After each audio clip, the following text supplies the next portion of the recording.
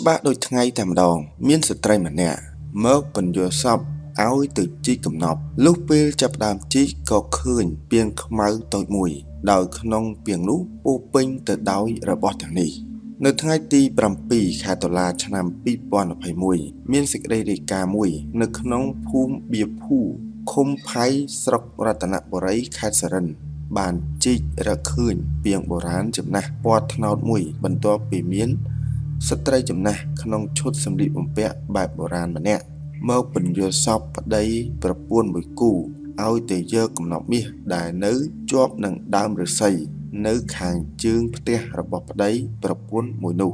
លោកលឡាវអាយុ50ឆ្នាំ ដែលជាម្ចាស់សបិនបាននិយាយថា មានយាយចំណាស់ស្លៀកសម្លៀកបំពាក់បែបបុរាណបានមកបញ្យល់សពខ្លួន និងប្រពន្ធរបស់គាត់ចំនួន5ដង ដោយនៅក្នុងសបិននោះ លោកនិងប្រពន្ធត្រូវបានលោកយាយចំណាស់ស្លៀកពាក់ពណ៌ខ្មៅបុរាណដែលមានសក់វែងដើរចូលក្នុងបន្ទប់រួចបាននាំខ្លួននិងភរិយាដើរទៅកន្លែងកំណប់ពីងមាសមួយកន្លែង នៅចំហៀងព្រៃឫស្សីខាងជើងផ្ទះបន្ទាប់ពីជីកពីងបុរាណតូចមួយនោះឡើងមកស្ត្រីចំណាស់រូបនោះក៏បាត់ខ្លួនមួយរំពេចតែម្ដង លុះពេលព្រឹកបន្ទាប់លោកឡាវនិងប្រពន្ធបានទៅជីកកំណប់តាមលោកយាយចំណាស់នោះដែលបានបញ្យល់សពដល់រូបលោកលុះពេលជីកក៏ស្រាប់តែឃើញមានពីងបុរាណតូចមួយមែនប៉ុន្តែនៅពេលដែលលោកនិងភរិយា បានយកពីងនោះមកពុំឃើញអ្វីឡើយពលគឺ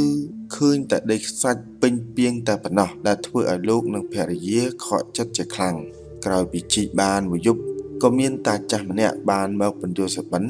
ដោយបានយកខ្សែមាសមកពាក់ឲ្យលោកមុនពេលលោកតាចំណាស់នោះចាក់ចេញទៅក៏បានផ្ដល់នៅលេខឆ្នោត3លេខជូនដល់លោកផងដែរ